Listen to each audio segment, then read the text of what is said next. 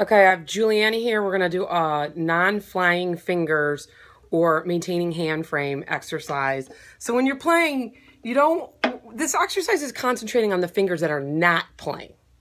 Most people have, you know, the, the, the hand frame, the shape of the finger is fine is when it's playing. It's the shape of the fingers that are not on the string that I'm concerned about. This is not good shape of the fingers that are not on the string or anything like this. They should stay rounded and curved over the string even when they're not playing. So we're going to do an exercise. We're going to do four on each. We're going to be on D string. She's on viola, I'm on violin. It doesn't matter.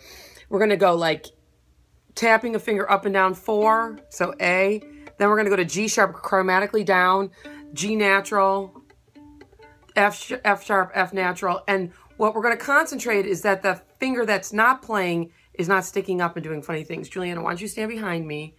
And get your viola fingers. Yeah. Can you get a little bit?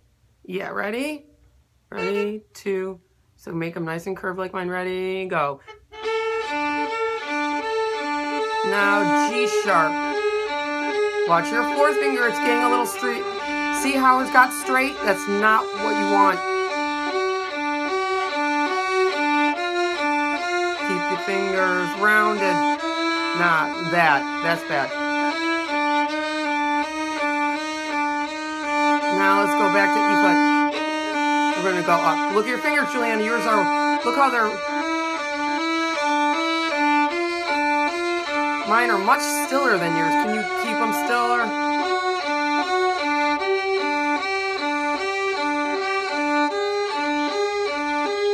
Look at your fourth finger, how much it's moving. Okay, do the fourth finger again, Juliana. These fingers are moving way too much. Ready? Yeah, you want it. That's what you're, you're, this exercise is concentrating the fingers that are not playing. Now we're going to do this scale thing. It's going to start and down.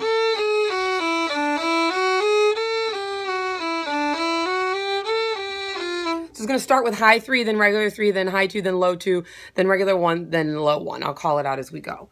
And it's the same thing. We're looking for the fingers. Ready? G sharp. Oh, do it again, Juliana. Your pinky went like that. Ready? You guys saw it. Ready? Pinky. Now G natural. Look at your pinky, Juliana. F natural. Now E flat. Look at your pinky. Let's do it again. Start with the G sharp. I mean, watch your fingers. Can you look in the look in the camera and watch your fingers and watch them in relation to mine? Ready? Oop, do you see how much they're moving?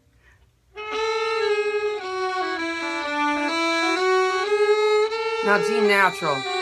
Look at your fingers, Juliana. Look in the camera, please. Look at your face. Oh! Look at your fingers. Why are they peeling up like that? Let's try it again. Watch, you can watch in the camera. I think it'll help you. Ready?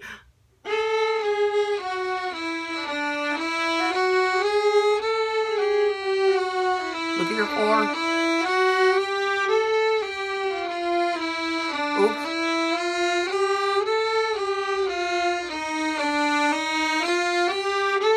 Good. If your fingers move up like more as more than mine or like kind of like Juliana's, it's fine. A lot of people have that issue. Whatever. It's not a big deal. Juliana's just going to practice it every day for like a month or two, and then she'll no longer have flying fingers.